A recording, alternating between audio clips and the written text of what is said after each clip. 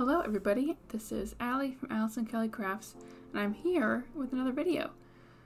This one is a design team video for a vintage girl and her daughter. This is my first design team project with them and I'm super excited about it. They have such cute stickers and I am very excited to use all of them. Um, I will leave a link in the description to their Etsy shop as well as what stickers I used. Also, if you do order with them, you can use, I have a discount code which I will leave also in the description.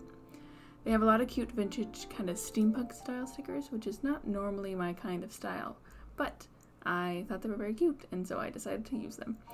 Um, I decided to make this whole layout vintage steampunk themed um, to try and use them up, and I really like how it came out.